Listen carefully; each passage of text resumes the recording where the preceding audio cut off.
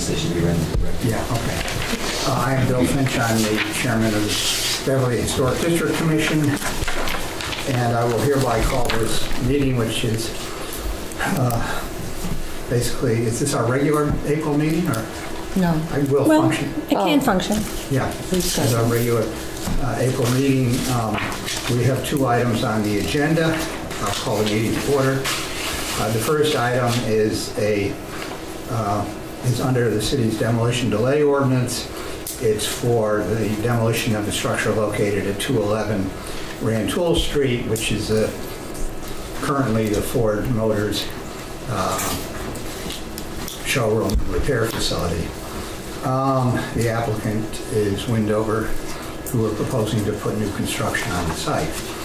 Um, The second item is continuation essentially of uh, a certificate of appropriateness for the construction of three apartment units at 42 Water Street in Beverly, Uh, 42 Water Street, 27 Front Street. Um, And uh, so I will start off with what happened, since a number of you are not familiar with this probably. Um, The demolition delay ordinance requires the commission to review the, any applications for the demolition of uh, any building in the city that's older than 50 years, 50 years or older. Um, We have to make a determination when we receive that application from the building department, we have 10 days to review it and make a determination of whether we think the building is uh, clearly not historically significant um, and therefore not under the jurisdiction of the ordinance, or that we think the building might be considered historically significant. It's not a finding that it is, it's a might be. And in the cases where there are, where we think it could be, we are obligated to hold a public hearing on the matter within 20 days of that finding, which is why we're here today. Um, The, uh, you know, the vast majority of applications actually don't go to this stage. Um, But um, this one, we determined, should go to a hearing. Um, We have to make two determinations at this hearing. After hearing uh, a presentation from the owner, uh, the applicant, um, and after opening it to the public and hearing comments from the public relative to the application and the building. We have to decide whether the building first is historically significant to the city of Beverly in our judgment, based on the conditions set aside in the ordinance. Um, If we determine that it's not historically significant, we go no further, and that ends the discussion. Um, The building inspector is notified, and he proceeds to issue the requested permit. Um, If we, if we decide that it is historically significant, we have to make a second ruling as to whether the building is, um, using the term of the ordinance, quote, preferably preserved, unquote. Um, and- and essentially to the, and is significant to the uh, history of Beverly and of such significance that there is public benefit to preserving it, at which point, if we make that finding that it is preferably preserved, building inspector is notified, and he holds up the permit um, for one year from the date of our finding, after which um, the applicant may proceed to demolish the building. There are a few other conditions on it before the, before he can issue a building permit, for- or demolition permit, final demolition permit. The owner of the building proponent also has to have gotten all its permits for the new construction or whatever it is that's going to take place on the site. So it may even be longer than a year depending on the particular process. Um, If we determine the building does not meet the terms of preferably preserved, then the building inspector is so notified, and even though we determined it historically significant, because it doesn't get the designation of preferably preserved, he may then issue the permit, you know, immediately or when the owner requests it. Um, This is not a taking of private property rights, this is a permit process. Um, And it doesn't permanently present, prevent an owner from uh, te- tearing down a building that comes with this. It issues a delay, and the purpose of the delay is hopefully for the owner, uh, perhaps with the assistance of this commission and the city, to find a solution that enables him to preserve the building rather than tear it down.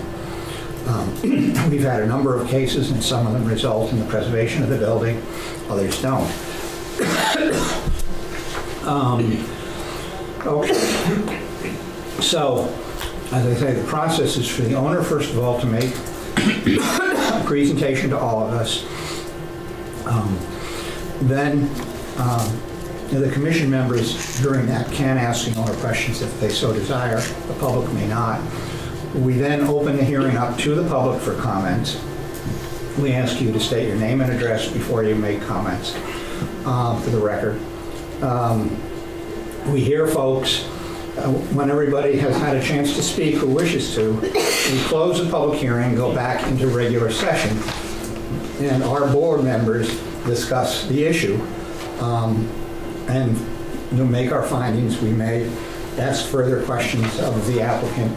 We may not, it depends on the situation. Um, And we usually make our finding the, the day of the hearing. I expect we will today. Um, So that's basically it. Now, I know that there's probably a lot of concern about the proposed new construction. This is not a review of new construction. Uh, Our, our jurisdiction is limited to making a judgment as to whether the building in question, the property in question is historically significant to the city and whether it warrants a designation of preferably preserved and the imposition of the delay. Um, So we ask you to restrict your comments to the questions of the historic value of the property. Um, We do not get involved in reviewing the proposal of, of the proponent for new construction to replace it. That's the jurisdiction of other boards. And those of you who are concerned about that should have opportunity, as this project may or may not proceed, to make comments germane to those issues. Um, So, uh, I guess that said, I'll ask, Tom, you want to proceed? Yes, to uh, Mr. Chairman, for the record, uh, Tom Alexander with uh, all our offices at 1 School Street in Beverly. Excellent job, not surprisingly, seeing that you drafted this ordinance what, some 27, 28 years ago when I was city solicitor. So, it- it- and I'm- you you really did a good job in It's airtight, right? Yes. Airtight, couldn't be better. And, uh, and a lot, it's gonna allow me to, to talk a little less, so I thank you very much. Uh, just quickly, I, I have with me uh, Chris Copeland on behalf of the owner of the property, and Thad Siemasko, uh, the architect, uh, will be reviewing, uh, the, uh, the, the, uh, the history of the property in just a minute. Yeah. All right, well, anyway, so thank you. Uh, uh, Just briefly, uh, this building is uh, about 23,000 square feet, more or less. Uh, About uh, two-thirds of it is actually uh, uh, just cement block in the, in the rear, uh, and only a third of it in the front uh, is uh, other than that. And and that's the part that um, uh, it it would, if there was to be uh, any uh, historical interest, that might be where it is. Um, uh, The, um, of course, that, that part of the building, much of the original uh, detail is gone uh, and, and- or covered over, uh, so that it's, uh, it's not, it's not, there's not much of what was there when it was originally built. This is, and this is, this building is, I think would be characterized as uh, a a kind of a nondescript generic mercantile building, and it's not a, a building that uh, uh, was, and I'm, I'm gonna quote some of the specific criterion in the ordinance, which is what we go by here. Uh, It's not a building that uh, uh, is, is, was built by a famous architect or a famous builder. Uh, It, uh, it's not in a historic district. Uh, It's not within 150 feet of it, the building itself is not within 150 feet of a historic district either. Um, The, uh, uh, it's, uh, it's not associated with one or more historic persons or events, and I'm just going right down the, the list here. I don't think there's any evidence of any of this, uh, uh, uh, or with the broad architectural, cultural, economic, political, or social history of the city. Uh, I'm gonna, well, one of the criterion that uh, I'm going to ask Thad Siemasko uh, in his presentation to go into a little bit, uh, but we also believe that uh, it is uh, not architecturally significant in terms of period, style, method of building construction, or in, again, association with a significant architect or builder. Um, So the, um, I'd ask uh, Thad just to give you a little presentation here about the building and the site. I'm going to interrupt you just one second You want to sit here? and make the point that the criteria, we- the criteria we work under are basically the National Register of Historic Places criteria. And buildings can be determined to be historically significant under that for a variety of, actually, four different reasons. I'm going to not be able to remember one of them. But Archaeology is one, architectural, uh, it's architecture of the building is another, and then associations of the building, whether it's to, to an important personage, George Washington slept here or whatever, or an important event, an industrial building that has to do with, um, you know, very important uh, industrial development, as in United Shoe Building, as an example. Um, So those are the primary um, considerations. And that method of construction. What's the, what's the fourth? Method of construction is another one. Is that a separate one? Yeah. Okay.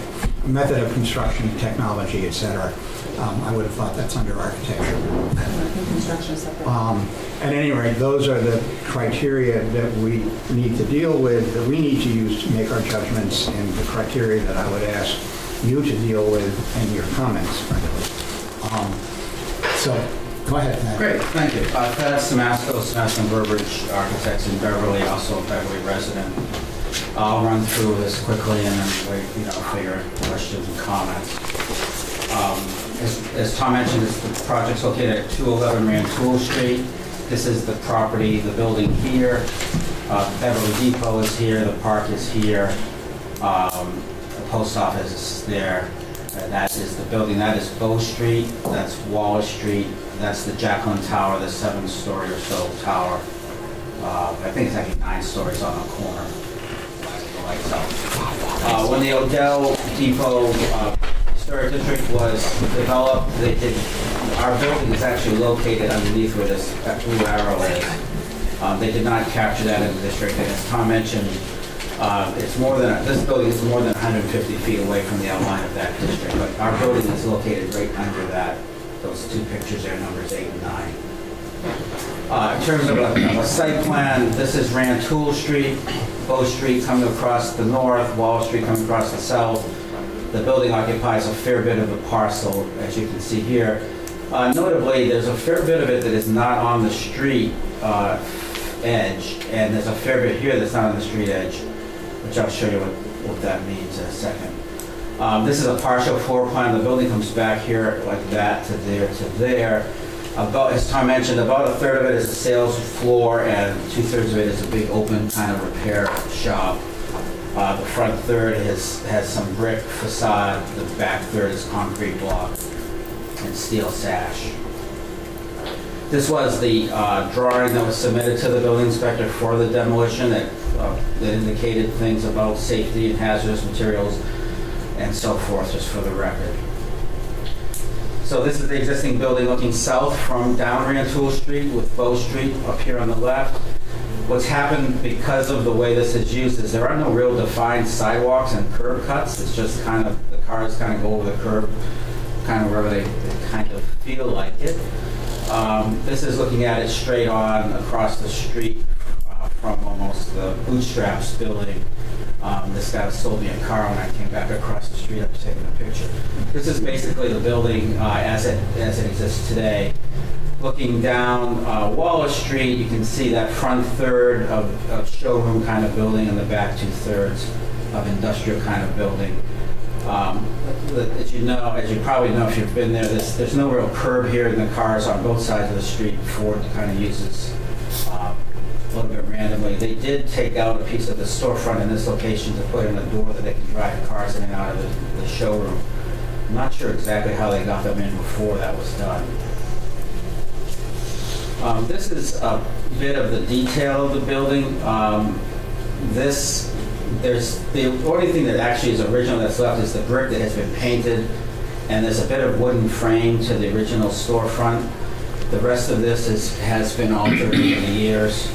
Um, I'll show you that in a second. Off the back of the building, uh, where, I'm sorry, this is the uh, Street side, sorry. This is looking toward Rantoul, the concrete block structure, a bunch of plywood over the top of some, of old, some old steel industrial sash on this side. On the other side and on the rear, um, they have replaced that industrial sash, looks like 19, late 50s, 1960s vintage uh, aluminum uh, framed windows. Building, the, the building is block and painted on, on, you know, two-thirds of it, and the front is, is, the front third is essentially painted brick. Going back to the, uh, the history, in 1919, this is where the site was here. It was a vacant lot. The Choate heirs had a beautiful home here and and probably owned this piece of land adjacent in 1919. This is 45 Broadway, which is the Veterans Housing is now, and Bora's store now is built in front of it in that location. But in 1919, it was pretty clean. So this is what it looked like looking toward the site. This is Broadway. That's 45 Broadway, the beautiful house. Uh, that's the Choate House.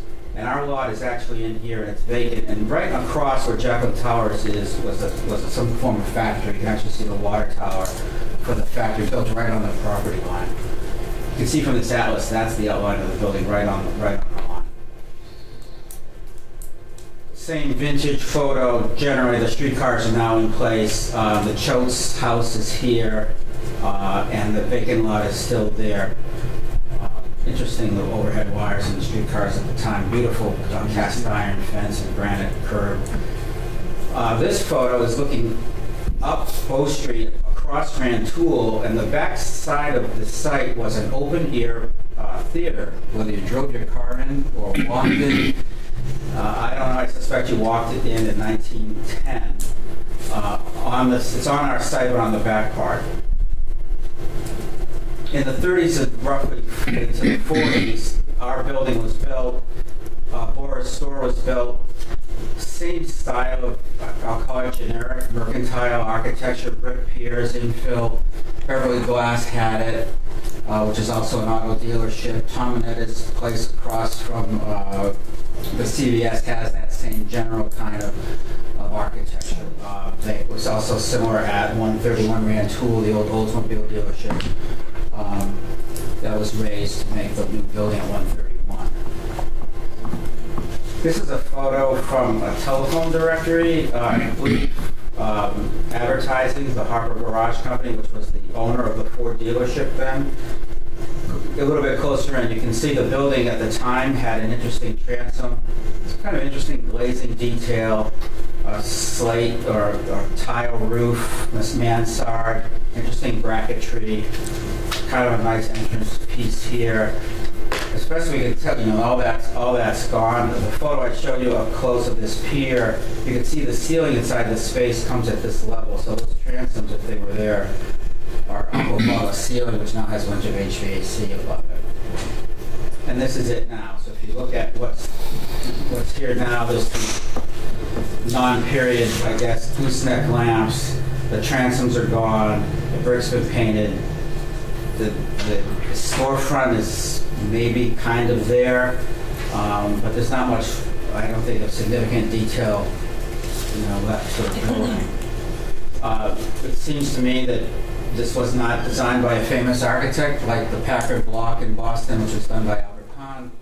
Uh, It's fairly generic kind of commercial architecture of its period. Uh, And it is not also you know, it does stop, interestingly, about seventy-five percent or so of the, we- of the length of the street, so there's that big gap there, which we think could be improved by, you know, maybe more of a street, street line. So with that, I think, Tom, if you wanna, wrap up, that'd be great. Yeah, thank you. Thanks, Dad.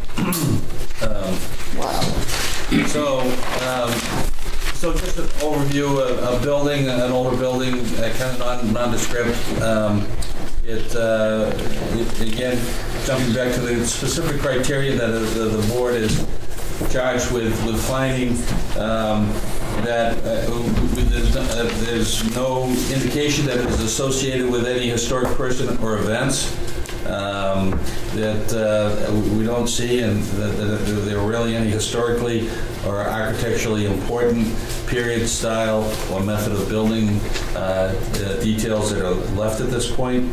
Um, And uh, it's, um, so that would be the, the historical significant piece of it that, that we don't believe the criterion is satisfied. Uh, and that, uh, therefore, you you would even get to the preferably preserved, but if you did so, so think that you needed to, um, it's, um, you know, that then it's required that uh, another finding be made that it made an important contribution to the historical and cultural resources of the city. Um, And I- I don't think that there's any evidence that that would apply here. So um, we're available to answer any questions you might have, and we we we greatly appreciate the opportunity to present tonight. Okay, um, I will also, I'm thinking most of you could see that, but this, the historic photograph of the building, I'll pass this around to anybody who wants to look at it more closely, you know, and or, you know, the same material that's in there, that he showed it's in there, there's another copy. Um, And uh, that said, you know, do the commissioners have any questions before we open the hearing? Um, What is the distance to the uh, National Register District? 100, and we measured off, it's 180 feet. Okay, um, I am going to hereby open this uh, public hearing on the matter of uh, a demolition application and demolition for 211 Rantoul Street. Uh, I'm going to start it by reading a letter from Estelle Rand, who is a Ward 2 councilor, as most of you know. Um, I will read this into the record and we'll have, it. I actually have a couple of letters here uh, that I will read into the record. Um, Okay, this is from uh, Estelle Rand. Uh, I am unable to attend the Historic Commission public hearing for 211 Rantoul Street due to prior commitment.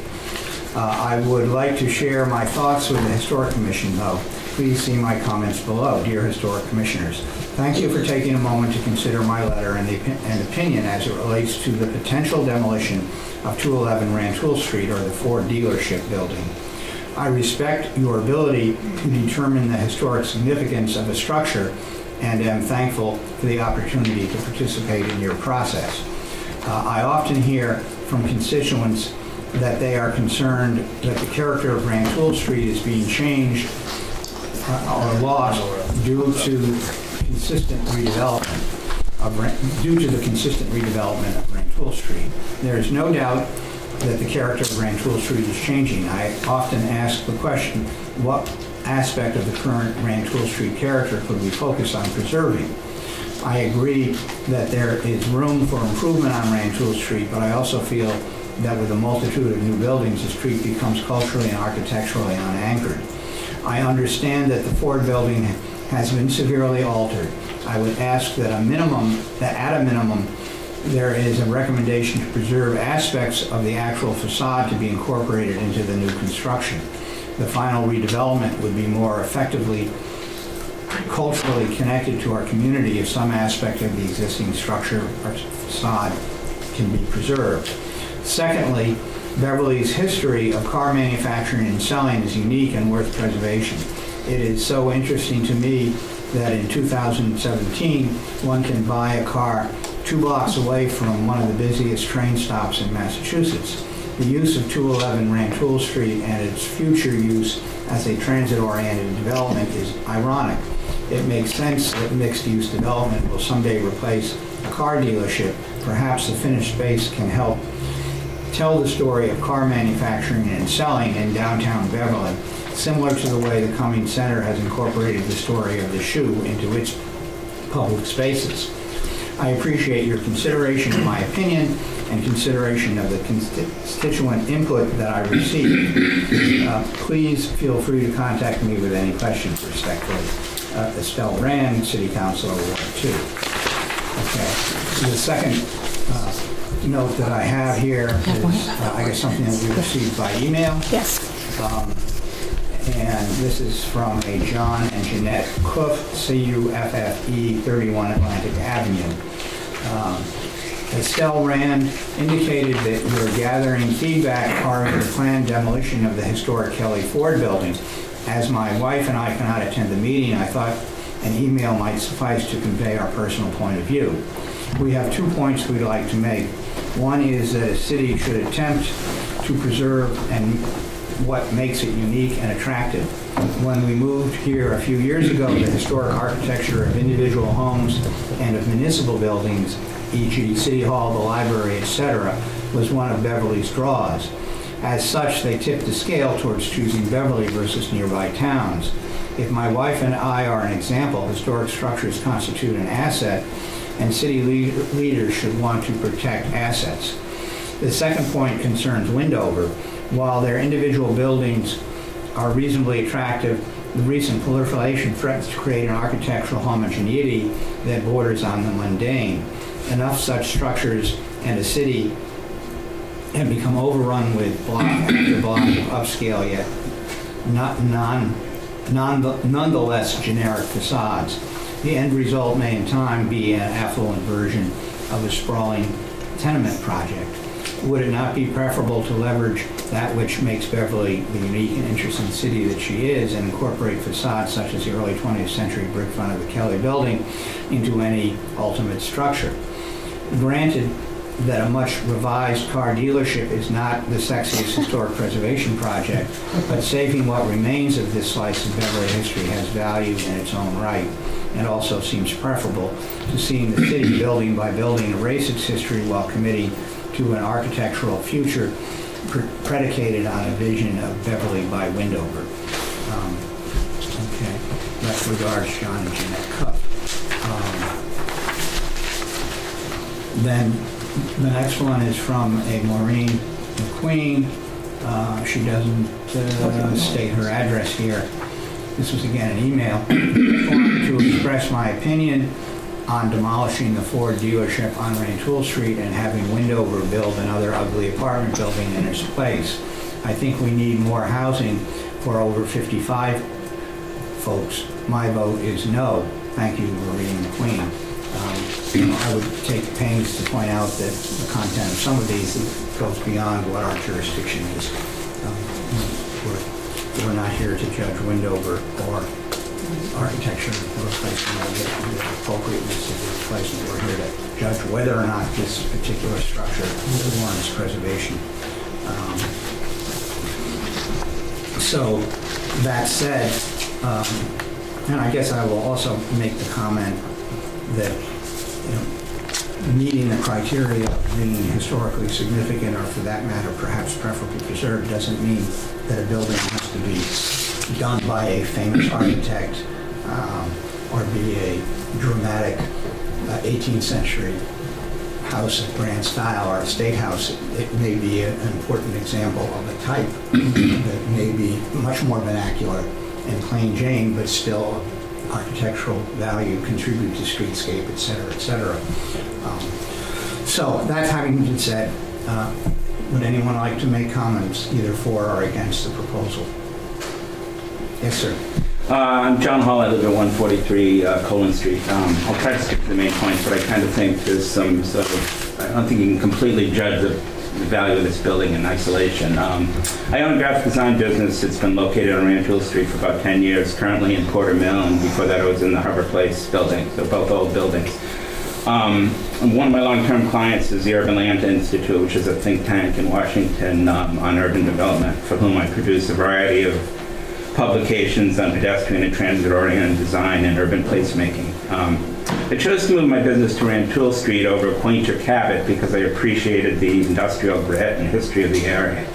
So I'm speaking as someone who loves and appreciates old buildings, but also someone who supports, who fully supports the redevelopment of the area and the concept of transit-oriented development. Um, certainly, um, as I look to look to the future, to the rebirth of Rantoul Street, certainly the street needed some investment, but I thought it had huge potential. While new construction and more residential housing would clearly need to be part of the mix, I imagine that much of the rebirth would be in the form of rehab and adaptive reuse of some of the area's industrial buildings and spaces like Porter Mill and Gateway. But as I've watched closely over the first decade of redevelopment, I have been disappointed to see that virtually every new development has involved the wholesale clearing of an entire block and the construction of almost exclusively large-scale apartment buildings. Um, aside from the Veterans Housing Project, which I think was a really well-done project and shows that Windover is capable of, you know, thoughtful historical um, restoration, but that building wasn't something that the average resident or visitor experiences.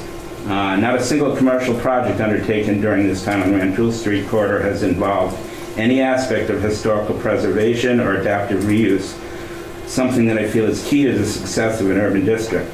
Taken as a whole, these new buildings are also well out of scale for the area, and I feel that Rantoul Street is in danger of losing the historic appeal that drew me here in the first place, and the pedestrian scale that is so desirable in such a district. As far as this specific building, I was encouraged when um, Mr. Copeland, the president of Windover, stated at his planning board meeting last spring that he liked the way this dealership building looked and hoped to preserve the structure. Um, Yet I was disappointed again when it turned out that that view had changed. While the building may have lost some of its original detail over the years and is not that attractive in its current painted white facade, it still maintains its place as the oldest and most intact example of an automobile-oriented business remaining on Rantoul Street. And as the story of an earlier period of Rantoul Street was the railroad and the former hotels around the depot, the story of the later 20th century Rantoul Street was the automobile and automobile-oriented businesses. That is a period that should be preserved as well. And during doing research, I came across a story and video exploring Boston's former auto mart between Allston and Kenmore Square on Commonwealth Avenue, which is home to dozens of examples restored and reused auto dealerships. Well, many are more grand than this building. Some are strikingly similar. In Boston, they have been converted to everything from art galleries to supermarkets to restaurants and office space. Shouldn't we at least explore preserving the historic piece of our auto mart? In terms of reuse potential, many of the businesses that have the most buzz these days are businesses that are attracted to old converted industrial spaces. Locally, just think of Gentile Brewery right here in Beverly or Notch Brewery in Salem. Both capitalize on the industrial feel of their spaces. Beverly has even modified its zoning recently to encourage these types of businesses. In a quick Google search, I came across nearly a dozen examples just of breweries and former car dealerships. It really seems to be a thing. Flatbread Pizza just converted a completely nondescript tire store in Salem into an inviting and attractive restaurant space. I would consider that particular building completely unremarkable if the city and developer deemed it worthy of adaptive of an adaptive reuse in a prime location in Salem. Rantoul Street, with its rough around the edges industrial vibe, is the perfect environment to capitalize on this trend, but by focusing exclusively on teardowns and large-scale, nearly exclusively residential buildings, we are losing both the scale and history of what makes Rantoul Street unique. I would argue that to preserve the historical significance of Rantoul Street's automobile history, as well as to maintain the reuse potential of a solid pedestrian-scale period building in an area that many people feel is in danger of becoming a canyon of oversized buildings, that a demolition delay on this structure is warranted. I would also encourage the developer to further explore his originally stated intention of preserving the structure of this building, perhaps in conjunction with more modestly scaled residential. Thank you. And uh, I brought the uh, story on Boston's auto mall and a bunch of breweries from auto dealers. That's enough. Uh, This is Okay. the um, most like that. Other individuals who wish to speak? Yes, ma'am. Hi, I'm Jen Wallace, I'm the Executive Director of Beverly Main Streets, and I live at 34 South Terrace. And there are two comments that I would like to make, and I don't know if the second is part of your purview, but it is actually a shame that all what was historic about this building, that all that is left is the corner. That's a real shame. But the fact of the matter is, that's what it looks like. That's what it is. And so I think that's what it used to look like has long since been painted over, tiled over, boarded over, ripped off. And I think we have to look at the reality of what that is. And my second point is if there is anybody thinking about, well, maybe I might vote for it, maybe I might not, I ask you to consider the impact on yet another huge empty building on the businesses on Rantoul Street.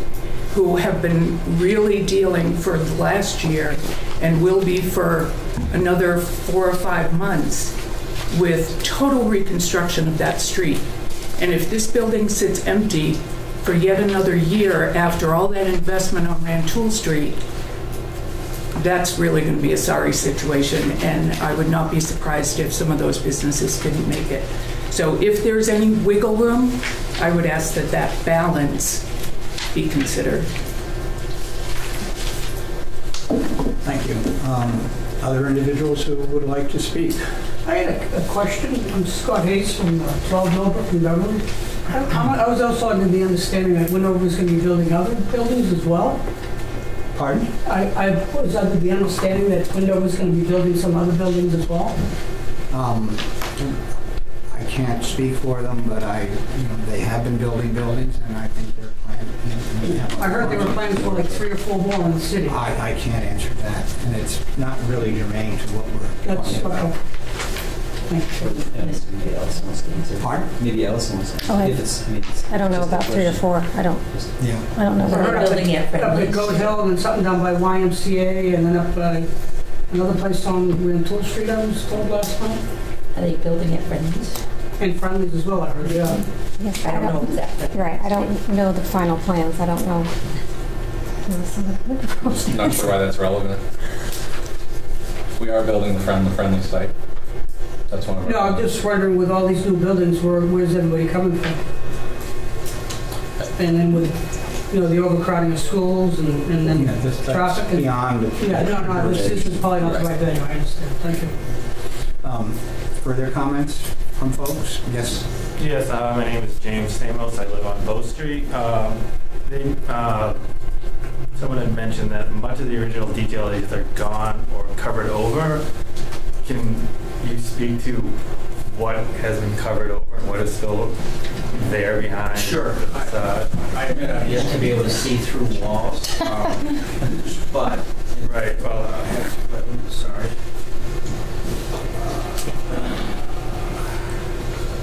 Um, If you want to just go back to that picture of the building, go, go back to the front facade. Yeah. Um, That little um, arched element, uh, I think, from the photograph, appears to be an original element that does remain. Um, this- that- the- And this corner, um, and probably the capital on it remains. The trim on the top, I don't think has anything to do with what was there historically in terms of the cornice Yeah, the roof, there's a picture that it had that, the It has, it had, it had a Tile a short tile roof with a gutter under that and so on. gable that was on Um, it. If you go to the side view, oh, flip back. What? No, I'm, well, you don't want to work. Yeah. These, there are some industrial type windows that we can see the lower half of in a couple of bays and uh, may be able to address it. Um, I don't know whether they, the remainder of them exist behind, you know, the covering or not. These are industrial steel, uh, steel windows. Uh, I can, they are, behind these plywood panels are the original steel sash. Um, By energy code, they're not thermally broken, so they don't meet the energy code. They're glazed probably with asbestos laden glazing compound. And, and again, and they're single pane glass. So typically, when you do a re- a res- restoration like this, the windows come out, and new windows that simulate these windows go back in. Uh, On the back side and on the, on the Bow Street side, those windows have all been taken out and filled in with an aluminum 1960s, late 50s vintage fixed glass kind of panel. Only on this side uh, are they available. You can see they just plywood them in. Back in this corner here, there's some offices on the interior. They just kind of boarded over the top. Uh, And in terms of the, sorry, go back one. So I, I don't know if there's a, if the original transom is back behind this stucco. It could be, but the ceiling is coming right in through there. Uh, I, I doubt that it is. Um, The, the, um, this, as Bill mentioned, this parapet detail is original. There's a base here of concrete and these brick piers are original. This trim here does not appear to be original. the frame of this window, the wooden part, no doubt lip coated paint fully is original, but there's some aluminum struts in here that look like they were a a later add. So in terms of that pretty picture from the 1930s, which had the, the cool uh, Spanish tile roof and the wooden brackets and the interesting entrance, and the transom panels and all of that, that's, that appears to be gone. Um, In terms of covered, I don't know exactly what's covered. Looking at, looking at the photograph, actually, these capitals aren't original, they're added, because the the photograph shows the the pilasters rising up to the... Um, I'm sorry, I have a follow-up question for, I maybe for you guys then? Go ahead. So if the repairs were done in the 50s or 60s, I'm sorry, if the repairs were done in the 50s or 60s on some of this, wouldn't that still be older than the 50-year historic um, rule? So even if stuff was done in the 50s, in 67 is 50 years ago now, that would still fall under the Well, we, historic. we, we we have a general criteria when we're dealing with judging historic value and what should be saved, what shouldn't, et cetera, or even in a rehab, what should be kept and what shouldn't, is we, we do consider that changes over time may be judged to be significant to the building and worthy of saving. Just because they are 60 years old as oh. opposed to 45 doesn't, doesn't meet the criteria. The question is, in relation to the particular building you're examining, is that, are those changes of major significance, are they, you know, damaging or non-consequential? It becomes a judgment call. Thank you. Yes. Um, State your name. Yep, sorry. Uh, Paul Wright. I'm actually uh, from 2 Woodbury Court, Salem. I am on here on behalf of some friends from Beverly who are hoping I might be able to just come and, and sit on this. So hopefully my comments won't be total. You used to live on Rantoul Street. I did used to live on Rantoul Street, so You got some uh, street risen- cred. Yes. Um, but I just wanted to speak a little bit to the design. Um, and so it's sort of a mission style um, design. So you could say that, especially when you look at the original, uh, that even though it was no famous architect designing it, it was typified of a, or distinct, um, indicative of a specific type or uh, style. Um, you could see that obviously through the years, the period, um, the style has been streamlined, sort of in a modern, uh, sort of yeah, streamlined take of the mission style. Uh, just wanted to say that they probably, I mean, obviously we don't know because the people who did the rehabilitation in the 50s or 60s aren't here, but they sought to keep some of those elements of that mission style, and maybe it was to keep it consistent with sort of the railroad era. Uh, mission style is a very popular architectural style in those sort of railroad junction uh, uh, developments, so maybe they thought to keep that sort of uh, to keep things consistent, although obviously upgrading it to be modern. And so I just think what few elements there are, mostly the arch on the top and sort of just the um, general impression of the facade, uh, do have some some design there. Um, Other individuals who would like to speak to the issue? Uh, Matt Pujo, 11 Longwood Avenue. Uh, Just like to speak on the issue of things changing over time. When I go home at night, I drive by that little house from 1715, Johnny Appleseed's. They wanted to tear it down for five parking spaces. But this board said, you know, it has a lot of its elements gone, there's very little of the original material left, but it's important being there, it's part of the fabric.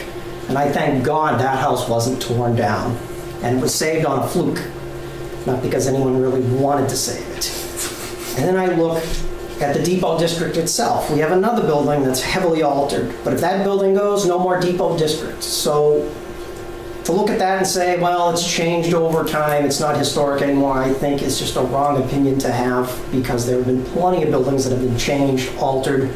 I interviewed the executive director of Historic Boston Incorporated, and you should take a look at some of the developments that they get themselves into. They take buildings that are absolutely ugly, hideous, altered, and they see that there's still hope. We can find a little bit of history in these buildings, and then when they're done with them, everyone is, is amazed at how beautiful these things are. So when I look at that, I, I don't know what to think. I mean, I, I've listened to John's arguments. And I think he, he's onto something when he talks about what they do in Boston. Um, But is it something I would fall on my sword for? I'm, I'm just not sure, but I would trust the wisdom of the board.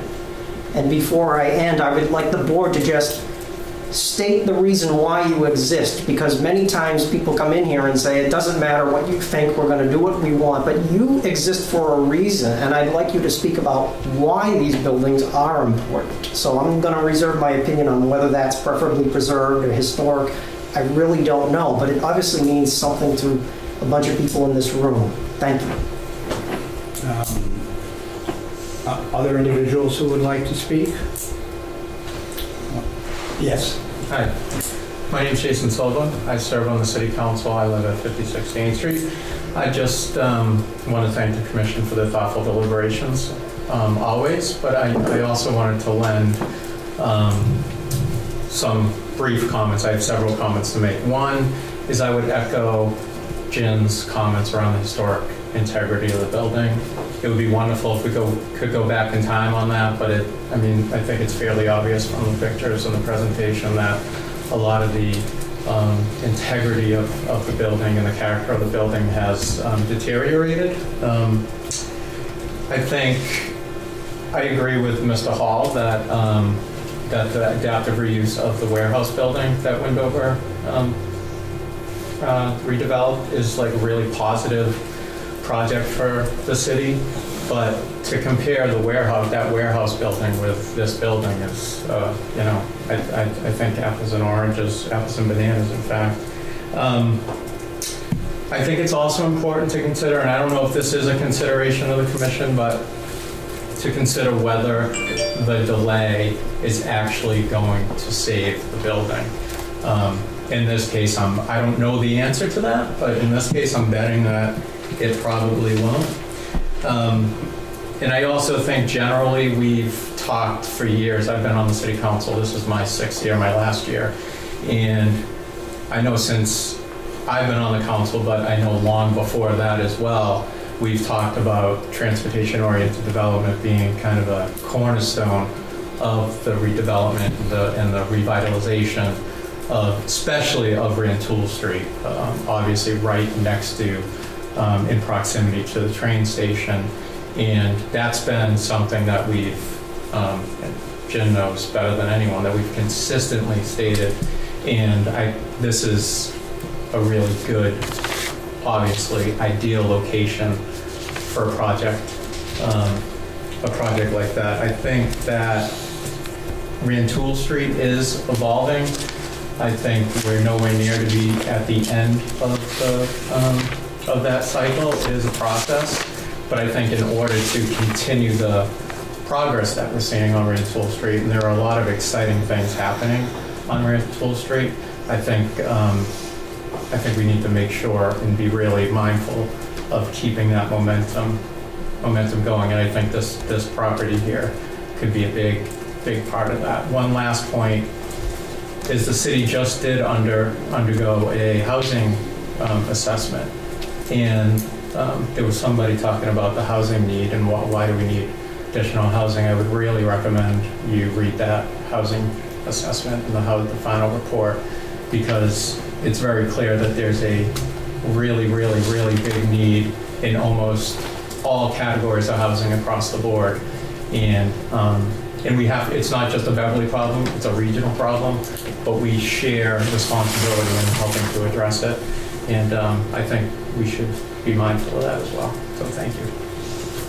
Thank you. Um, Are there any other comments uh, from members? of- Um, I just have one follow-up question, I guess, to Mr. Copeland. I was at the planning board meeting, to follow up on what I mentioned in my statement, um, where I think you were going for the Friendlies building.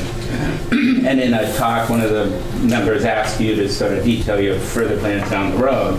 And you specifically said you liked the look- way the dealership looked.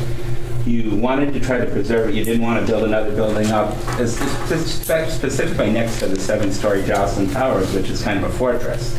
So I guess I am wondering how you um, came to change your view on this. Sure, I'd be happy to address that. So since that meeting, um, we have looked at, at a number of ways uh, this building might actually play into what might be a future development, even though I don't know if that's germane to the context. But um, a couple of things I'll note, that that north angle where the Ford sign is creates a number of challenges. It's not 90 degrees.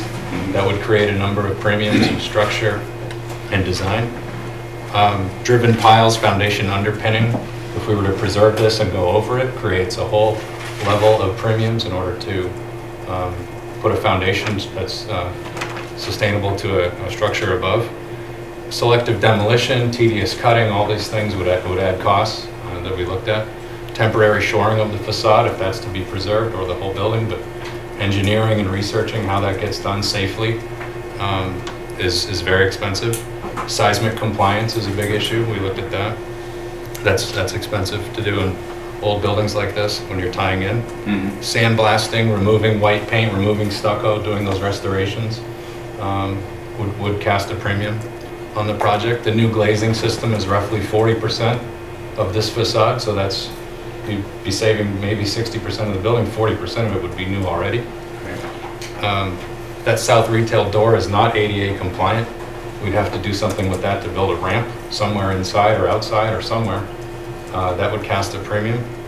And even if we do all of that, even if we do all of that, we'd have to recreate the mansard, that uh, gable end that's in the original fabric of the building right there, all that would be recreated. Those panels in the top would be recreated, they would be new. I think it would just be lost. So we looked at all that and we just, it's just, would be really difficult to do.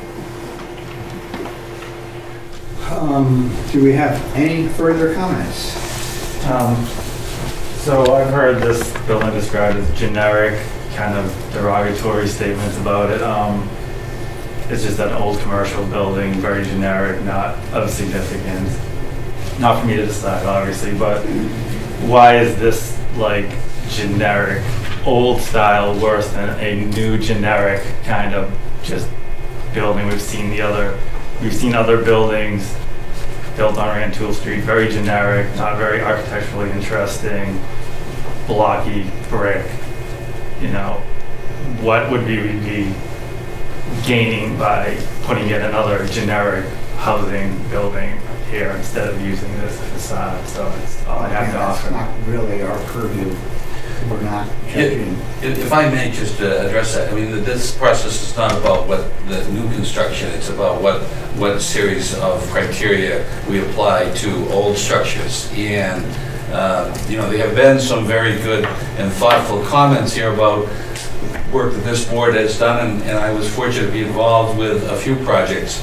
Uh, One is uh, the, you mentioned the Johnny Appleseeds building, that was uh, done uh, in conjunction, but that, that's, that's what this is about, that's the first. If you're going to mention that, I have to say, you wanted it torn down because you were representing a client. No, no. I was Yes. the one- I was the one who worked out the, the deal. to But keep it Walgreens- there. But I'm not in a debate with you. It was Walgreens that saved that building. Yeah, go ahead. Okay, thank you. So, getting back to the Johnny Appleseeds building, uh, that was done in conjunction with this. That was the first period building. That had historical significance, no question of it. The, um, uh, I was fortunate to be involved in the United Shoe Project. That was one of the first steel reinforced concrete buildings in the world. That had historic significance. Uh, uh, Right up the street from the Johnny Appleseeds one that we mentioned, the Bushby Estates, that, was a building there that was preserved. That had, was first period, that had historical significance. Not, unfortunately, not every old building has historical significance. Uh, And I think that it's important uh, that we distinguish between those that are and those that aren't. And because to make buildings that are less than that, that level is to lower the standard of, of historical significance. So I would just ask you to keep that in mind. Um, Are we done? I just have one quick question. Um, my name's Dan Stevens. I live at 14 Rowell Ave and own a business, video production business in Beverly. And my question is just, I'm just curious, um, how does it work in cities like, you know, for, to John's um, example of, um, you know, Salem and obviously Flatbread Building, and I used to live right down the street from there, like an ugly Goodyear thing, but making it look pretty awesome. And then cities like Lowell, who are obviously they have old mill buildings that have huge historical significance, but then there's other little ones peppered in here and there that have different sort of historical significance. How is, um, I guess, how is something like this um, different, and how are those sort of decisions come to when the historical significance to this degree has more an aesthetic value rather than a and I mean industrial aesthetic, not like not like sexy, cute, um, like this old picture, but it has just like that industrial, like where a brewery would go in, or or where a whatever would go in. Like I'm not saying I just want more. I can't even drink beer anyway. So, um, but so not. But just to that point, that sort of whatever would be built up on something like that, that historical significance is attractive to businesses and a and new homeowners too. I have a lot of friends similar age to mine. I just bought my house a year ago, who seeing buildings like this torn down are looking across the bridge and other places to buy because it's not as it doesn't have its historical value um, anymore. And I just wonder what sort of consideration is there consideration in, in something like that in building a continuing to keep a general aesthetic rather than building a brand new one. Um, that has historical still talking about the historical significance of Well, it. that, that's part of our judgment, and and the issue can be, uh, it, it doesn't necessarily say that the building itself has to be significant, it may be significant to preserving a, a streetscape that is considered to be significant Mhm. or important to preserve, and losing the building Yeah. would be like Yeah. pulling a tooth out. Um, And again, it doesn't, in a building like this, we're looking at as, at it as a building type. Um, It's up to us to make judgments as to whether this building is representative of that building type in Beverly has significance or not.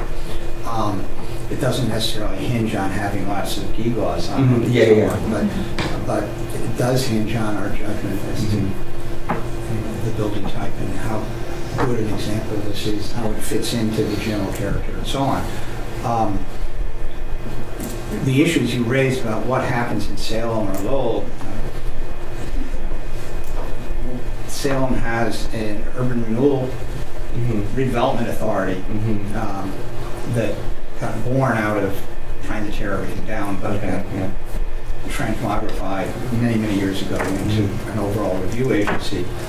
And, you know, I would suspect that lots of the projects you're talking about uh, came under their jurisdiction. And they mm-hmm. weren't necessarily subject to a demolition delay ordinance, they were subject to a municipal review process, mm-hmm. planning department, redevelopment authority, et cetera. Mhm. The same is certainly true of Lowell. Lowell has a plethora of organizations and, you know, that deal with these issues. It's Mhm. not just a matter of demolition delay. In the case of Beverly, demolition delay is one instance. There also is a design review board, there's a planning board, Mhm. um, et cetera, et cetera. And I can add, in Lowell, the um, historic, the historic board is established by state legislation that actually gives them pretty far-reaching control over what happens, Oh, okay. including enforcing minimum maintenance requirements within a specific district. So it's very different from a local ordinance that establishes Yeah. a commission like this. Okay. Cool. Yeah, So there are, you know, a wide range of things that Yeah. generate um, the preservation of s- certain Yeah. types of buildings. Um, So, um, that said, have we done, are we done? Okay, seeing no further requests for comments, I will hereby close the public hearing, and uh, this will now go into our discussion. Um, We ask you to refrain from comments um, while we're doing that, um, and uh, we're simply going to go forward. I think we could. So, you know, my question to the commissioners is, what do they think? And the Should we first take question- historic significance? Yeah, historic significance is the first question. Well, it sounds like we've been talking a lot about significance relative to the economic history of the city and the automobile industry in the city. And it sounds like a lot of people who've attended this meeting tonight feel that it is significant to that history. Um, You know, our ordinance allows us to declare significance to, for properties that uh, relate to the broad economic history of the city. And I would say, the question is, um, is this building part of our economic history? The answer is yes. Is that economic history significant? I think automobile um, construction and sales and maintenance is important to the history of the city. So I would feel that it is significant. The other term that's been bounced around is integrity, and I think, I just want to remind commissioners what integrity means. Um, There are actually seven qualities that contribute kind of in composite toward the sense of integrity. And it's not just about the stuff we can touch. The seven qualities, I wrote them down so I wouldn't forget. Location, design, setting, materials, workmanship, feeling, and association. So of those seven, we've been talking about how the materials aren't there. Maybe the design isn't there as much as it was historically. But I would argue location, 100 years, same spot. The setting, the industrial, commercial zone of our city, same. The feeling, the sense that that is an industrial property, you know by looking at it that it has some place in our economic or industrial history, commercial history. And the association, the fact that it has been a car dealership for so long. And in fact, don't we think it's been a Ford dealership for that length of time? Yes. So of the seven components of integrity, I feel like four are pretty, pretty present in the property. Um, So it makes it a little bit borderline in terms of integrity, but I just wanted to raise the issue that integrity is not always about the physical material that's left. It's a very strong component, but with a building that didn't have a lot of decorative or um, craftsmanship to begin with, what you look at are massing, scale, relationship of windows to the solid forms and stuff like that. And so um, my feeling is that it actually does have a good amount of integrity. So the significance question answered, you know, pretty easily in my mind, plus integrity, kind of the the four to three judgment call on that. I feel like the property is significant. Um, Well, I, I think that's great that you actually took those seven uh, principles and laid them out. To somebody who had asked the question before about how we think about the criteria and make these decisions, that's really well thought out. Um, I think the strongest part of historic significance in this particular case is its association, its historic association with the city of Beverly as it relates to you know, automobiles and transportation.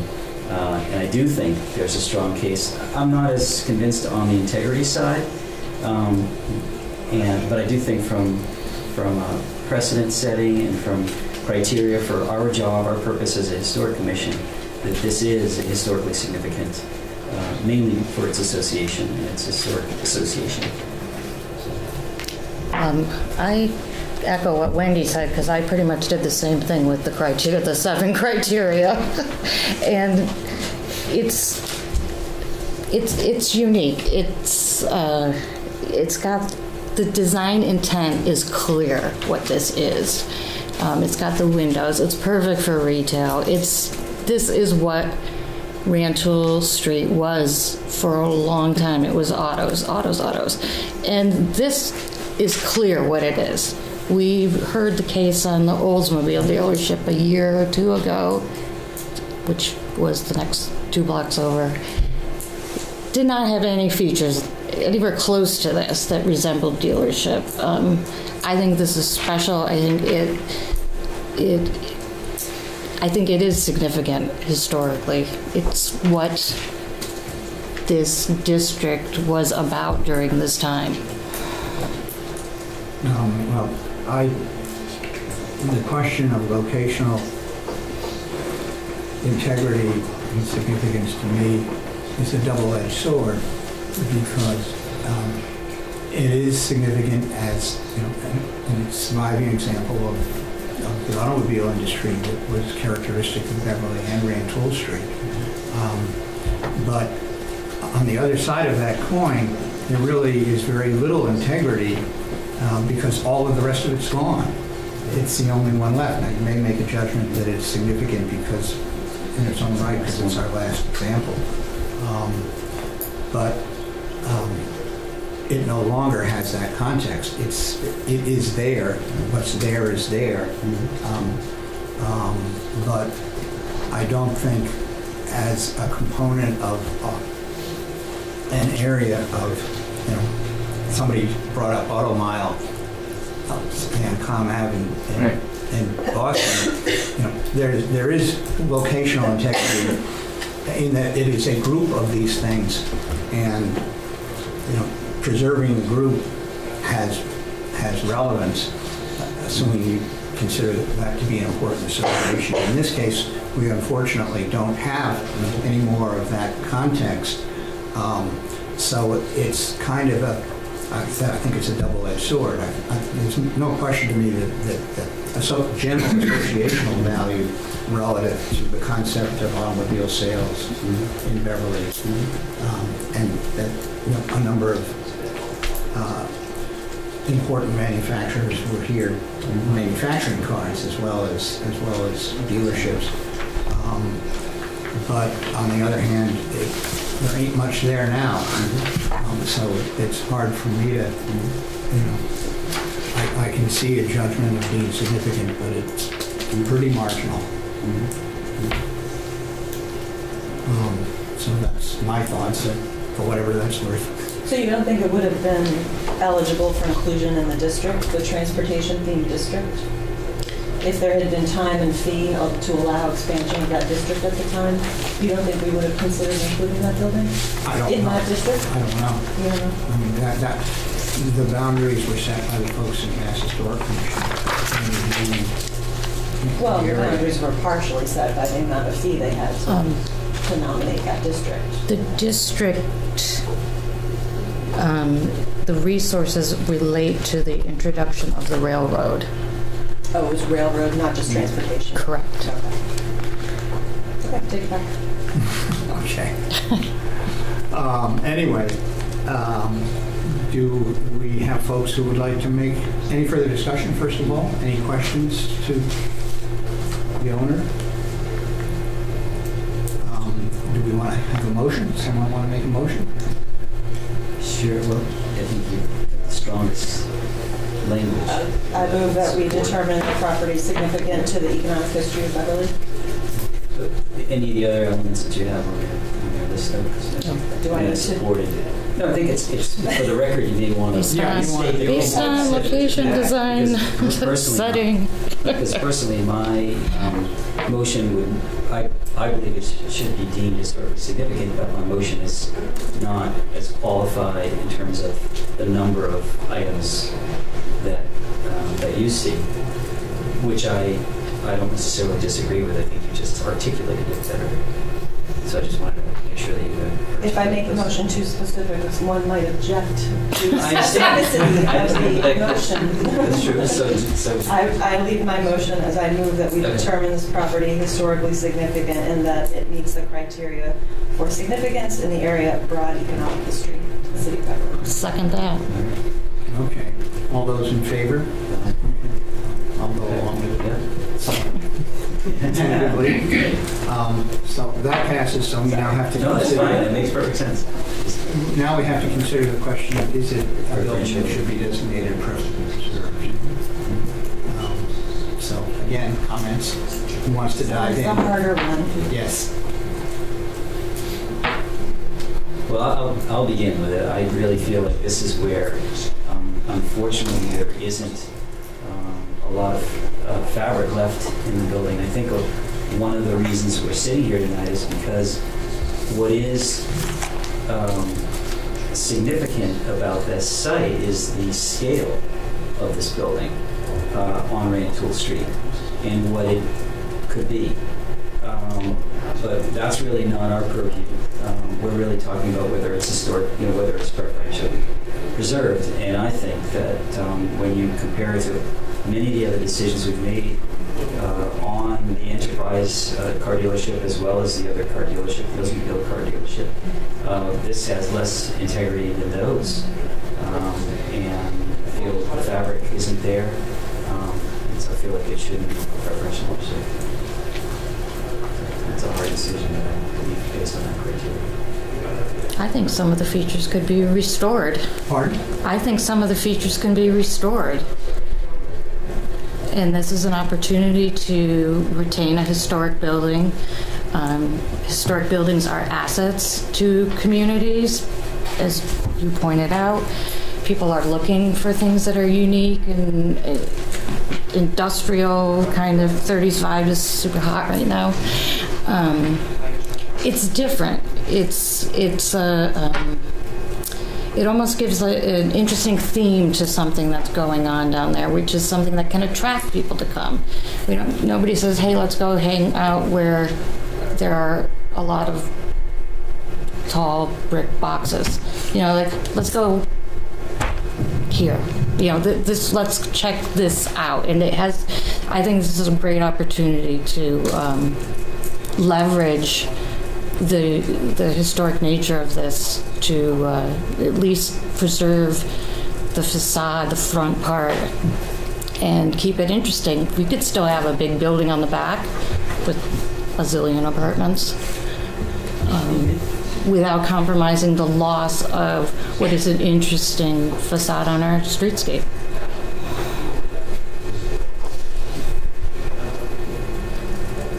And I, I looked in the, at the actual ordinance while we were reviewing material earlier. And the language is that you determine the property, preferably preserved, I'm paraphrasing, but mm-hmm. if the property has made an important contribution to historical and or cultural resources of the city, so that it is in the public interest to preserve that property. So just sticking to that, the question is, has it made a contribution, and what's that contribution? And is that significant enough to be in the public interest to preserve it? So I can't get over the hundred years of the same use. And to me, it feels like um, a really deep root for the city that has kind of anchored itself on Rantoul Street, and that is part of where our city grew from. And that is the contribution it made. The fact that that dealership has been there for 100 years meant that the city was thriving. I'm sure it had downtimes and uptimes, but the fact that it remained um, to this day as an automobile-based business when the other ones that were mentioned, Beverly Glass, the one down by the hot dog place across from CVS, have all been kind of converted, changed, or lost. But this one survived, and I feel like, you know, Councilor Rand's comments about it's amazing you can buy a car two blocks away from the one of the busiest train stops. That is kind of the rich layer of history that we have. And Rantoul Street is kind of the gritty history, and we like to focus on maybe the Cabot and the estates and the oceanfront properties that are really beautiful, but history isn't always about beauty. And I feel like this property has contributed in that it has stood fast for 100 years as part of sort of the commercial anchor in our city. Um, and regardless of the, the sort of borderline in, integrity, you still look at it and it still tells you about that history. You can still feel that history, you get a sense of what it, what it meant to the city. So I feel that it is preferably preserved. Um, I'm fairly dubious myself. Um, you know, I think the loss of integrity is quite real. Um, I, um, I- as someone who's trained as an architect, I tend to look at design. Um, and I, the original building had some character. This has very little. Um, This building essentially reads like a car dealership of the last 50 years, not of the last 100 years. Um, It, uh, you know, on the other side of it, I could get romantic about the steel windows, and that that's a generic of an industrial, you know, facility back there, and so on and so forth. Um, But, um, you know, there, there are very real problems associated with that. Um, there was a time when those of us in historic preservation were not very excited about facadism, preserving facade with a building behind it, glued to it. Um, um, Although some of the more successful examples have been cases where the building has been stepped back fairly significantly, um, that's behind it. Can even admit to having participated in some of those. Um, um, It's difficult, I just, um, you're correct, we could reconstruct the facade. Um, I'm not sure what we've done in the process of that, and in the end, if this becomes a brewery, what does that have to do with a car dealership? Um, um, You know, it, it might have more significance if the car dealership was to persist, but it's not going to. Um, So, I'm, I'm not very sold on the concept of of it's being preferably preserved. It's not quite, some fairly mundane school buildings get preserved with this criteria because the associational value to the many generations of people that have gone through them is very real to the city, to the populace. I don't quite think that that applies to a car dealership. Um, uh, I don't think that people get romantic about saying I bought my car, my first car there. Um, so, and it, as I said, there is not a lot of context relative to that history. There it is in isolation. So how do you how do you deal with it? Um, if we do designate it as preferably preserved, um, the long and short of it is that the, the developer will proceed to do what they're planning to do eventually. Um, and whether they make some decisions to incorporate aspects of this to do as, as um, Ms. Rand suggests of incorporating some memorial aspect of it in the design, whether it be something that's incorporated in the design of the building or uh, exhibit stuff or so on. You know, I, um, that, that aspect of Beverly's history, I don't know. We can't tell them to do that. Um, whether they decide they want to do that is not probably going to be determined by our determining the building preferably preserved. Um, um, you know, I, I would think it would be conceivable in redevelopment to, you know, to keep the primary building, the office, the display building, and build something behind it. Um, there are, you know, issues with that, but that's not our, our problem. Um, but uh, I, I just am somewhat dubious as to whether it really merits uh, being raised to that level. Um, the gentleman made comments about, well, the design of the front is now something that's still 50 years old, but um, that in and of itself doesn't make it significant. The issue is, is it important? Is it something that enhances the design and functionality of the building that makes us think it's something that's a, a change over time that is significant? And you know, it's just the opposite. It's made the building more mundane, and taken away its character. Um, so there's sort of where I sit. We're, we're missing Martin. It's like the Supreme Court. Yeah, of Um, course. So there we are.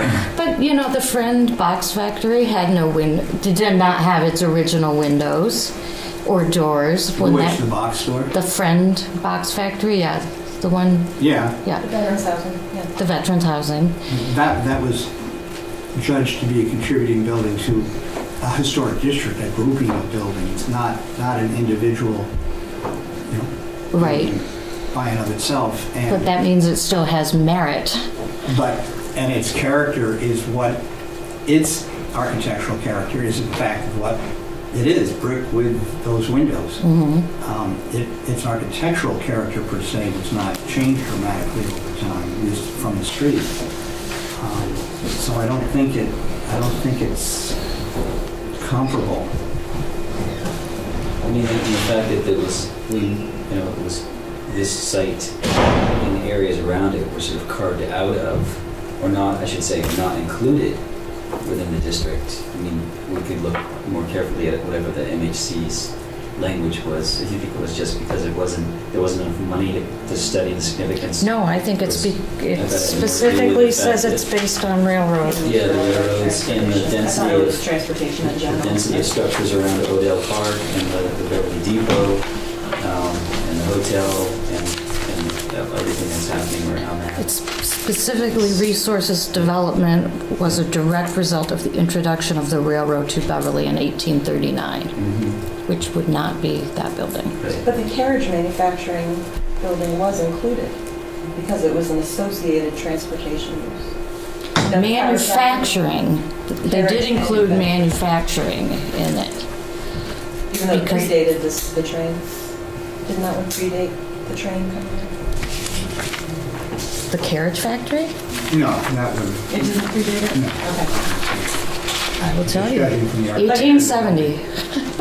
Okay, with application. But I want to make a clarification to your point. So I don't think that our ordinance requires that we know that a delay will result in the preservation of the property for us No, to agree. propose the delay. I think that the ordinance is written, determine significance, then determine whether it's prefer- preferably preserved because of the contributions the property has made and because of the mm-hmm. public interest in the protection of that property. So it doesn't matter if we think it's not going to be saved. I think we need to stick to the, mm-hmm. Agreed. the rules. Mm-hmm. Yeah, no, I don't, I don't disagree with that. I know you. I, um, I just think, I don't think there's enough of the automobile district, want to call it that, part of our industrial heritage, commercial heritage. There's, there's just not enough of it there to say that, that there's any integrity to it for that association. I think the association is, is really the sort of concept that it's been a Ford dealership for 100 years, period. And that it's, you know, perhaps the oldest car dealership. But then it still conveys that history. It does. I don't think it's the fact that cars live in that building that makes it significant. It's that you look at that building and you know that it was built for that kind of purpose. But how does that make it more, I see that as a strength for deeming it historically significant, but not necessarily a strength for seeing it as being preferentially preserved. Well, the language about preferably preserved is, it's made important contributions to the historical and or cultural resources of the city to be in the public interest to preserve it, so. Right, but there's So a difference between recognizing the significance of its contribution over time to understanding, you know, its economic importance, to its future. But the, the second part of that, which, right, which basically talks about. um, I, I read it differently. I read it as historically, it has made an important contribution to Yeah, the history um, of the city, Yep. and that there's a public interest in preserving that because of those connections. Our Public intent and purpose is to is different. encourage the preservation and restoration rather than demolition of such buildings and structures, and by furthering these purposes, to promote the public welfare and to make Mm-hmm. the city a more attractive and desirable place in which to live and work. That's the ordinance? That is our, the ordinance. Um, And and to me, the building doesn't sing out and say, I'm a car dealership. It just says I'm a commercial, you know, building Really? set up for this. No, not, it doesn't. Okay. It's, it's just too bloody mundane and could have been any number, you know, it could have been some kind of department, you know, one-story department Okay. store with big display windows, et cetera, et cetera. Um, You know, I don't know. Um, It doesn't say it like some other car dealerships that I know of say it.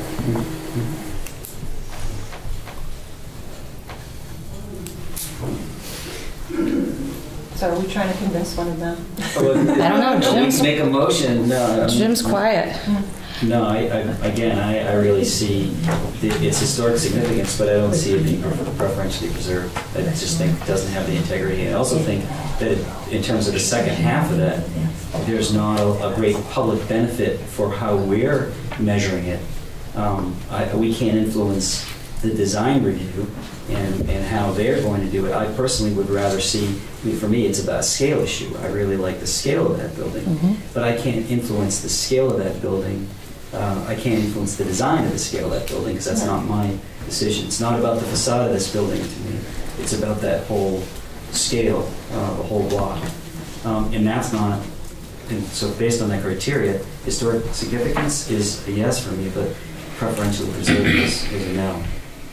So I would make a motion that it- it not be preferentially preserved because it doesn't have the integrity, and I'm basing that on precedent of two of the other three uh, car car dealerships that we've looked at. Um, One which was an Oldsmobile dealership where my family bought all their cars, so it has much more, not the Ford.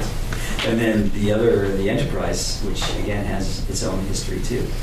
That's beside the point, but I would still say that the integrity there, it just doesn't have the integrity to, to uphold the standard of historic preservation uh, and being historically, I mean preferentially preserved, as our bylaw basically states.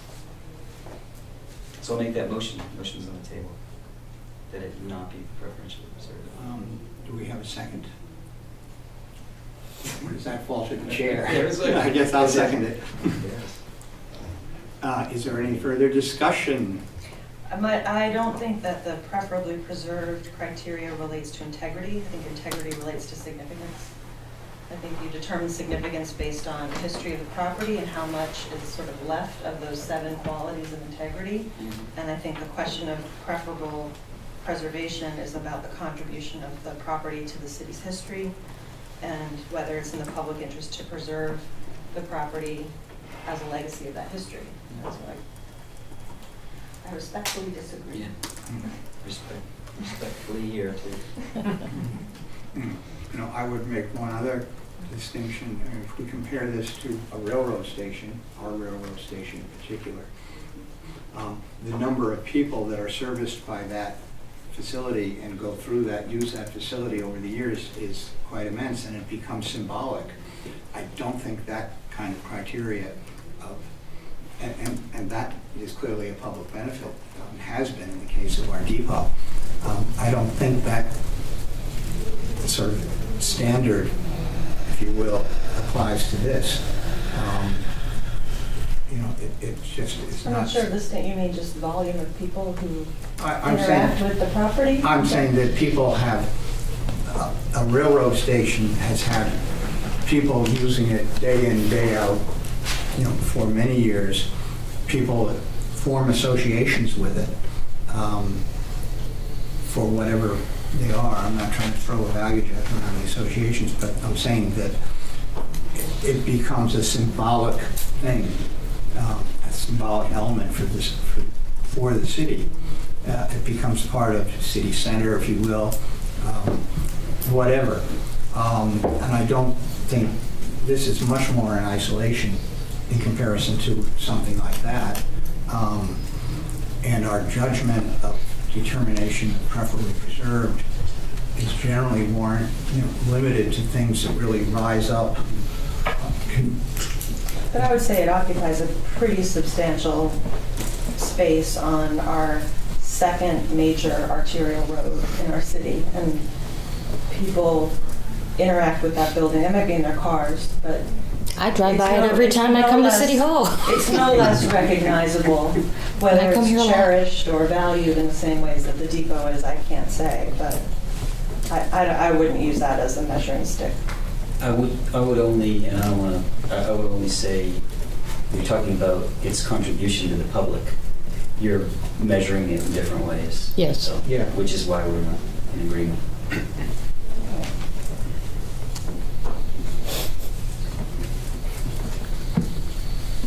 So we have, what do we do? Well, this is the first time I think we've- we've called have for. You have a We- motion yeah, and We have a second. motion. Yeah, we have a we have second. second motion. We also have 10 days to decide. What's that? We also have 10 days to decide according to the ordinance. After the hearing? I know. After the Yes. hearing? Yeah, that's true. We, we. Oh, we don't don't make that have- comment Can- can you before. tell I Don't make this that comment yesterday? before that We generally make our decisions the same night, but we don't have to. Um, We have, and we how certainly how many try. days we? Ten. Because, Ten. just because of the nature Is of it our. business? I you forget. the- Hold on. We have other things we do. So we try to be Ten thoughtful and do that. But I don't know what happens if we ever tell, because I've never I don't either. experienced that. in any- Is there a lower court? Go to make a decision No, there's- before us? I know it's in there, I just can't. put my finger on it. Or is Well, it a if decision? if there's a, if there's a motion You can have a tie vote. It's, Pardon? you can have a tie vote. Yeah, what does a tie vote mean? It Means it's not preferentially preserved. You have to have a majority for that determination to be made. Suppose that's- I, I don't know if that's, I'm You not have sure we can 10 take that business answer Yeah, from you. exactly. We have That's ten business Hess. days to figure, to, uh, After said public hearing, the commission shall within 10 business days determine whether or not the subject building or structure is either significant or preferably preserved. and and I I would presume that our fifth member, who's not here tonight, can't participate in this because he hasn't been I don't present for the believe he hearing. can. yeah. Right. That's probably true. I I'll would double agree. check, but I don't think he can. Too bad. So did we vote on the motion? that No, we didn't. Okay. and the hearing is closed, it cannot be continued. Pardon? The hearing is closed, it can't be continued until we have five members. I don't know, question. I don't know. Do do we, do we want to basically continue? I think you can continue. I did close the hearing. Okay. You can't have a, a member vote on, uh, when they're not been present for the public hearing. For the- Yeah, well, for part of- her question was, can we continue it here? But Continue They have it? to be there for the whole public hearing. Pardon? They have to be there for the whole public. hearing. Yeah, okay, No, that no, that makes sense Martin's- to me. Can't weigh in.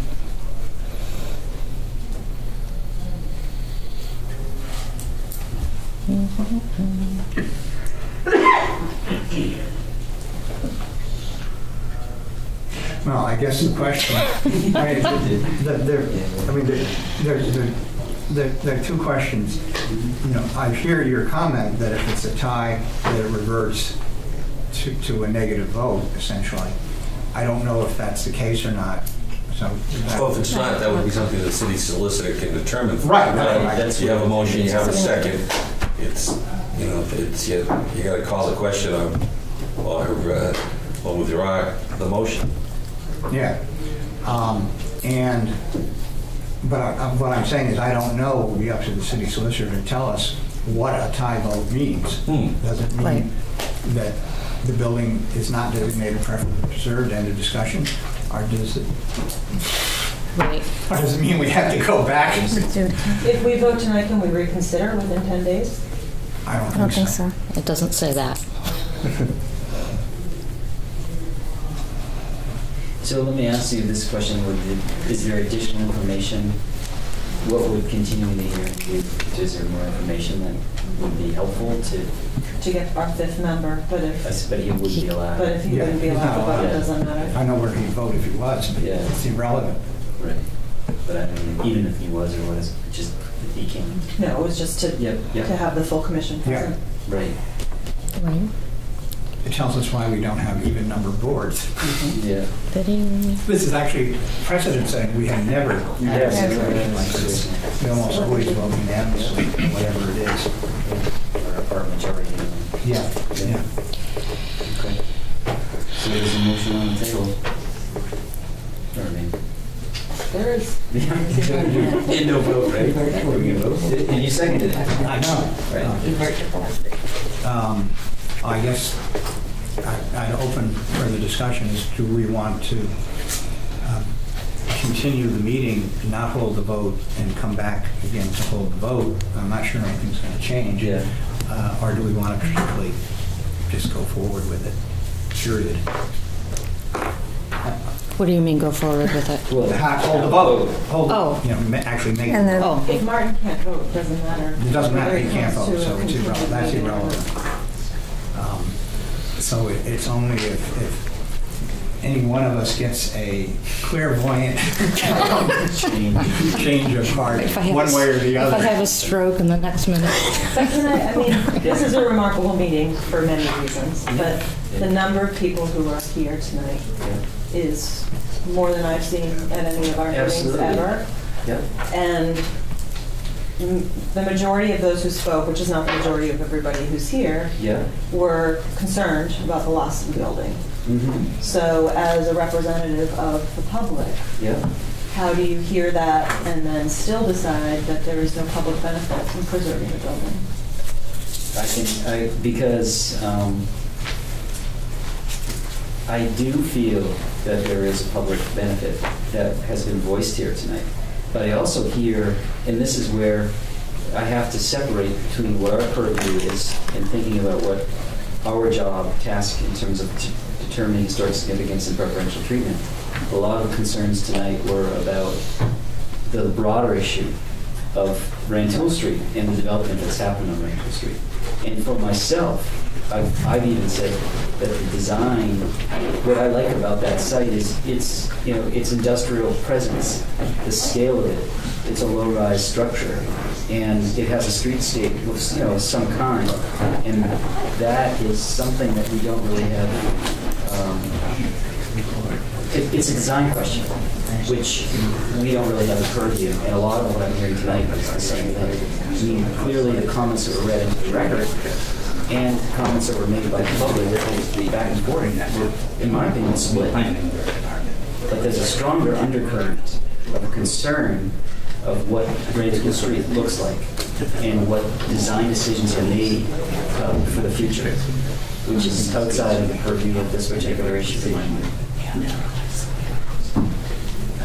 And I guess what I hear Mhm. is that we like what that building looks like.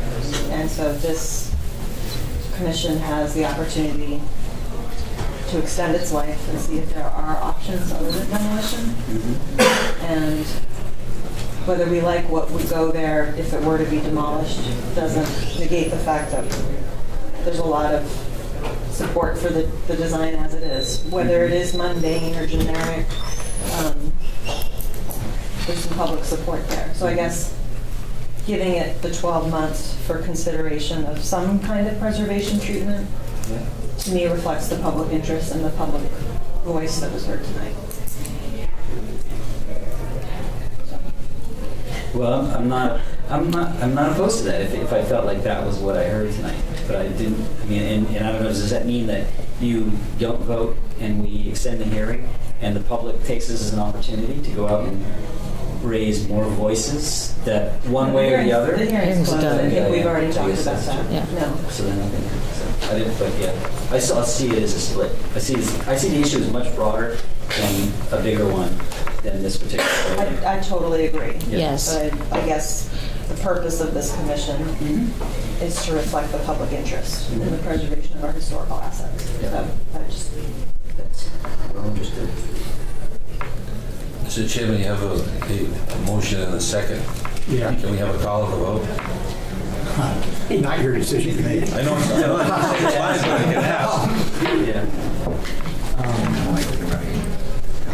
Do we have any further discussion on the matter? We obviously have some. Did- Let me ask you a procedural question. Is there an opportunity now, since, oh, you already closed the hearing? Did we Close the physically hearing. close the hearing? No, Yes. yeah, the hearing's Sorry. done.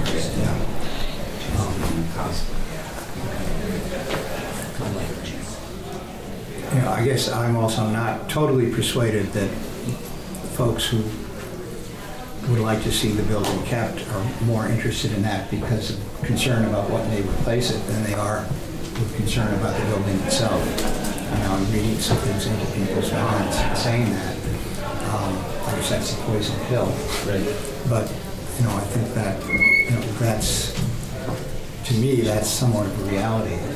It's not clear to me uh, how much this building, as a symbol of uh, our industrial past and the commercial past, whatever, is, is embedded in the public imagination. Uh,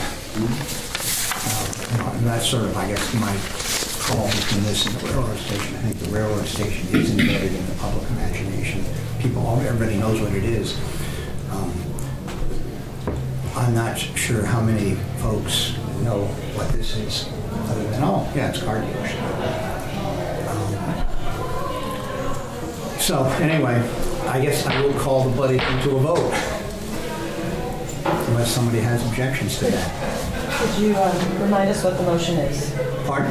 Remind us of the The motion. motion, well, the motion is that the building be deemed not preferentially preserved. And for some reasons?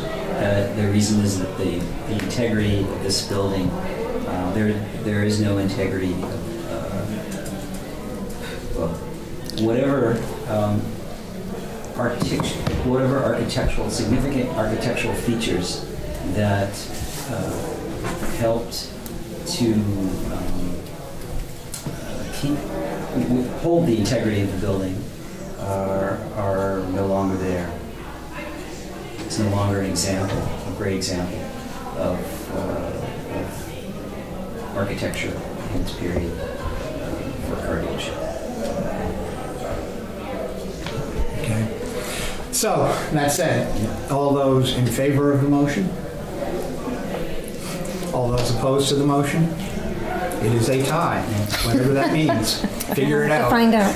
Okay. So thank you, To everybody. be for coming. determined, yeah, really. Yes, thank you for your time and input.